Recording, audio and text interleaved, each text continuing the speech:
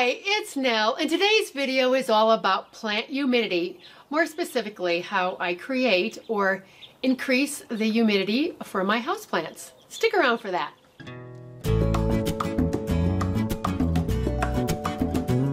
So if you like videos about gardening both indoors and outdoors, be sure to subscribe. I post videos here on YouTube about every two weeks or so. There are a lot in the archives for you to check out. I would love to have you subscribe, and if you're already subscribed, thank you. So the blog post that goes along with this video is already up. You can find it in the description box down below at the top or on my website, joyusgarden.com. And along with all these points I'm going over here, you can also find answers to questions asked about plant humidity and also a list of low humidity tolerant houseplants. Ah yes, last week we had snow on the Catalina Mountains just over here and today it's a beautiful early February day. It's about 73 degrees. So like everywhere, you just don't know about the weather, but I'm happy to be able to film outdoors again. So I thought this was a good video to do for winter because it's a notoriously dry time. So I thought this might help you out if you're looking for some ways to increase the humidity in your home for your plants. Uh, probably the most telltale sign that houseplants need more humidity indoors is uh, they turn brown. Either the leaf tips will turn brown and or the leaf edges will turn brown. So there are varying opinions as to whether some or all of these methods work, and I never paid attention to most of them because I've lived in much more humid climates than here. Here being Tucson, Arizona, I moved to the Sonoran Desert about four and a half years ago, and I have a lot of houseplants. Most of them are tropical or subtropical, so that's why I um, am always trying to find a way to up the ante on the humidity factor. So subtropical and tropical plants do best with a humidity between 50 and 60 percent. We humans apparently do best with a humidity around you know 50 percent so that's a nice sweet spot to uh, aim for but here in the desert, uh, like for instance, today the humidity is 19%. Last summer we had a very hot and dry, long summer, and some days the humidity was like 5%. So I'm always, you know, looking for some way to uh, help my green babies out. So these methods don't turn my home, my entire home, into the tropics, but they do work as a momentary fix or in the area where I have the things I am going to talk about. So the first thing I'm going to start with is the one that I think most people can agree works the best, and that is a humidifier.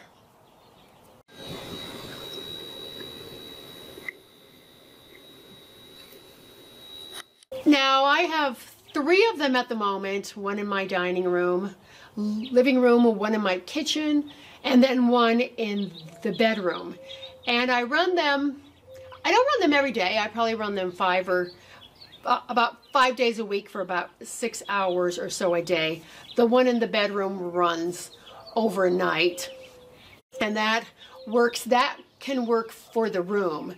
They will tell you how much square footage they cover. For instance, is this going to cover 200 square feet, 300 square feet, 400.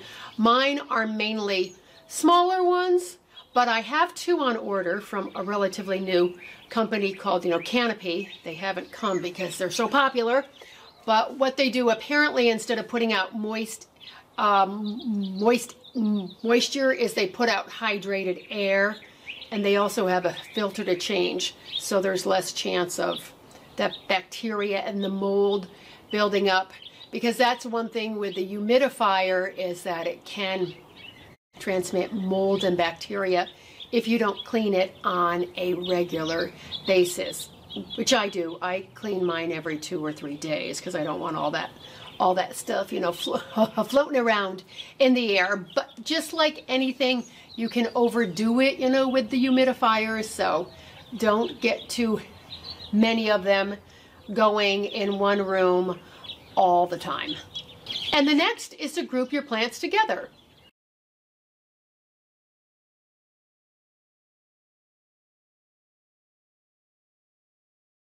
Plants transpire and they release moisture, so it just makes sense if they're in groupings, they're going to help each other out. I have mine on plant stands together, um, on tables, and in groupings on the floor. Next is saucers filled with rocks, pebbles, or glass chips, and then that is filled with water.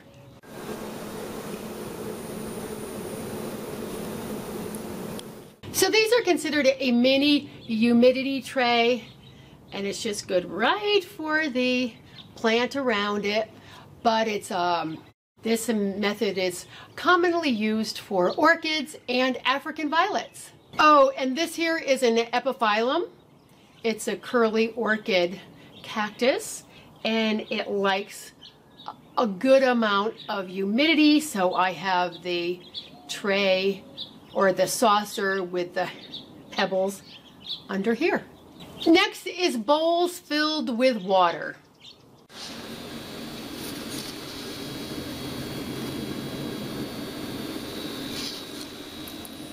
And I have three of them on that table, that long table that you saw. And I'm not quite sure if they do that much, but I just keep them filled with water. And again, it, it would be a fix for right around the immediate plant that it is next to. then we have misting.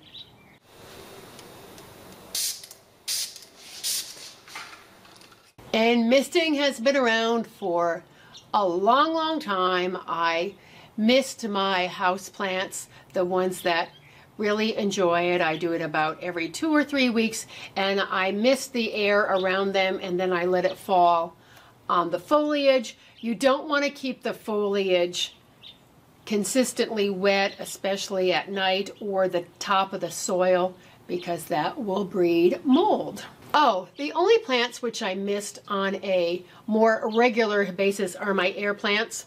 I just have a few of them because it is a little bit of a struggle to grow them here in the desert. It's just a lot of work. So I mist my air plants once a week and I soak them once a week also. And the next method I think must feel so good to plants and that is to take them to a sink or a shower and spray them off.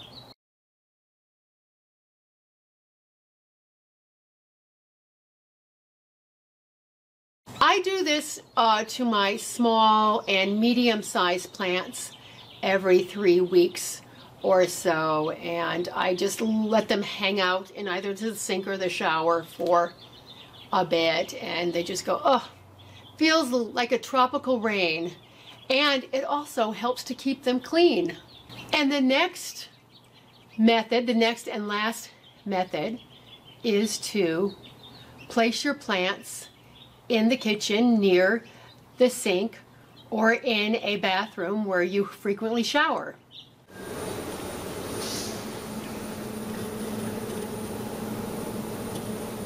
This way they can enjoy a little bit of the temporary humidity, moisture that is happening in that room. And I use this method again for my air plants. I have them hanging I have the small ones hanging close to the, the kitchen sink. By the way, so uh, as I said, these are three plants which like a fair amount of humidity, as most of my plants do. This is the curly orchid cactus. This is one of the air plants. And this is a cryptanthus. And I'm going to be doing a care video on the cryptanthus very soon. It's a type of bromeliad, really easy care stay tuned for that.